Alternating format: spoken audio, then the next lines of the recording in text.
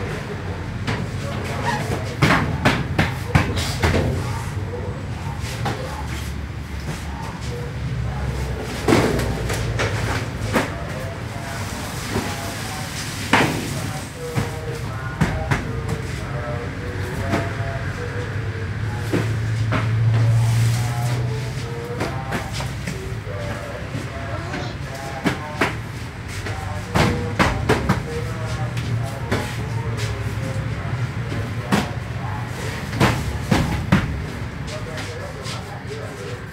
Trả lên đúng không?